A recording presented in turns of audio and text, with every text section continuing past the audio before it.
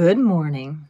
So today I'm going to change things up a little bit and talk about morning routine for creative people. I've been trying to hack productivity and creativity for a while now, and I have found some things that work for me. There are three main habits that I try to do every morning before I really start my day. They are exercise, morning pages, and eating an energizing breakfast. I really started paying attention to my morning routine about 10 years ago after reading Hal Elrod's Miracle Morning. It was a great, quick read, and he proposed six habits that can truly transform your life. And he wasn't wrong. At that point in time, I had just closed my yarn and quilt shop, and I was looking for a new adventure. The six habits that he says can change your life, he has anagrammed into the word SAVERS. And it stands for silence, affirmations, visualization, exercise, reading, and scribe, writing. So for many months, I got up at the crack of dawn, sometimes before dawn. At that time, I had two middle school aged children, and if I was going to get anything done in the morning, I needed to be up before them. The idea is that you take an hour each morning and you go through these six things before starting your day. So silence can be anything from meditation to prayer to mindful breathing. Affirmations are stating or writing positive statements. Things like, I use my time wisely. I am a creative person. It sounds a little woo woo, but let me tell you, it really can make a difference. Visualization is really thinking about and truly visualizing what it is that you want to accomplish, whether that's for the day or as a long term goal. This is a technique that a lot of star athletes use. They visualize getting that basketball into the hoop or hitting that home run or performing an amazing routine on a balance beam. Exercise seems pretty self explanatory. Now, personally, when I was doing this, that was the one I would skip, always saying, I'm going to do that later in the day. I usually didn't. Read. Read for self improvement and personal growth, like reading The Miracle Morning. And of course, you could just read for fun. It doesn't have to be a book, it could be a magazine, newspaper, but just something to engage your mind.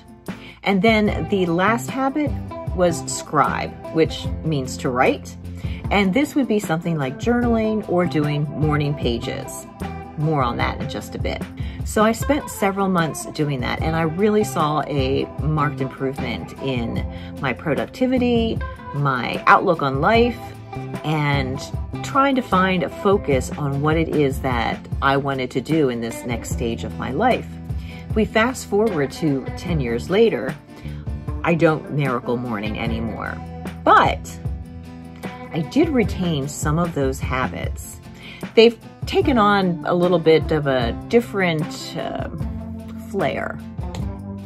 And I've even picked up exercise. So let's take a little bit more in-depth look at my current morning routine. Exercise for me is three different things. It's not just exercising my body, but it is also exercising my mind and my skill. For me, exercising my body is a very quick but effective five minutes of stretching in the morning. Now to add a little twist to this, I exercise outside at about 6.30 in the morning, regardless of the weather, unless it's raining or snowing if we ever get snow. This stems in part from a video I watched by Andrew Huberman from Huberman Labs. And he proposes that cold shock is vital to waking up your mind so that you are ready to take on the day and really get a lot of things done. So with that in mind, that's how I ended up doing my stretches outside. And I don't bundle up in the cold. Now, I've only been doing this routine for a little over a month, so it hasn't been terribly hot because it's been fall and now we're into almost winter. But this morning it was about 37 degrees Fahrenheit. Not too bad, totally doable. I just go out in uh, leggings and a shirt and uh, do my stretches. And I do find it energizing. So wakes up my muscles and uh, wakes up my mind, which of course brings me to exercising my mind. You know, do a little thought process there. And that I accomplish by morning puzzles. Yep, on my phone. So of course for a while I was on the Wordle bandwagon. Now I'm doing connections, which you can find in the New York Times. I also have an app on my phone for a game called TypeShift by Zach Gage. And that is a great uh, word puzzle that has a daily puzzle that I do every day. They start out very easy on Monday, and by Sunday, they're a little more complicated. But it's great fun, and I haven't missed doing one in over 600 days. And then, of course, the third type of exercise I do is for exercising my skill set. As an artist, this is really important. I want to make sure that I am using those muscles, whether they're mind muscles or hand muscles, to further develop my skill. So, if you've watched some of my previous vlog posts, you see I've been recently practicing drawing acanthus leaves. Now let's talk about morning pages. So this is a habit that I did start back 10 years ago as journaling. And at that time I did learn about morning pages, which are Julia Cameron's take on journaling. So journaling can be a whole wide range of things, anywhere from talking about your day or what you expect to do to bullet journaling or something along those lines. Morning pages is really about getting all the stuff in your head out onto paper. So it can be a bunch of complaining or a grocery list or three paragraphs of the next great American novel. It's just whatever is in your head that needs to get out. Clearing the cobwebs.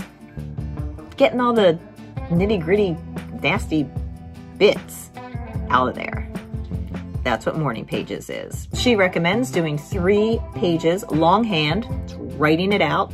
Don't use the computer, no typing, because it's a process and it really helps to get it out. Even better, doesn't even have to be legible. No one's gonna read it. You don't even have to reread it. Just write it. So this was a habit that I have done on and off in the last 10 years. So every time that I pick up Julia Cameron's book, The Artist's Way, I get back into the habit if I've fallen off the habit. And this year, I have done morning pages most mornings, except for the last month or so. It's been a little sporadic, but I'm getting back on that bandwagon because starting in January, I'm going to be doing another Artist Way workshop. And it's done virtually, so if you want more information on that, check the description below or also the first pinned comment. And I will give you a link to get on the mailing list so you can find out more about that workshop. Last habit in my morning routine is to eat an energizing breakfast. There were many years where I didn't really eat breakfast at all. And there were years where I drank a protein shake every morning. But my current obsession with breakfast is a bowl of yogurt topped with granola and a glass of green juice. Delicious. Now, while those are the three habits that are part of my morning routine, I still rely on some of those original SAVERS back from the Miracle Morning. Throughout the day, I do mindful breathing. I'll take a minute or so and just nice deep breaths, kind of reset myself. I'm also big into visualization. And at the start of the year, I like to have a new vision board for the things that I want to work on for that year and sometimes even beyond. When I look back on some of my previous vision boards, I am amazed at how many, usually all, of the things that get accomplished, not necessarily within that year, but usually pretty soon after.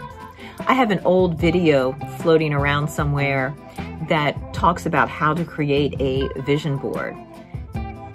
I'll try to link that if I can find it. And gives me an idea for another video that I can make. So the last SAVER habit from Miracle Morning that I haven't mentioned as part of my current daily life is reading, but I am still an avid reader. I have, however, embraced audiobooks and podcasts. So I do a lot of listening as well as some reading, just not quite as much actual reading with the eyeballs that I used to do. So as an artist and maker, I find that it's very important that I don't let all of life's other little things take away from my time to work on my creativity. And because that time is so precious and sometimes rare, I want to make sure that I have a morning routine in place that will allow me to be able to focus on being creative and at the very least be productive in the things that need to get done, even if they aren't creative. So, what are your morning routines? What have you found is really a great boost to being able to get through your day, be focused, be energized, and make the most of the creative time that you have? Let me know in the comments below. Until tomorrow, See ya.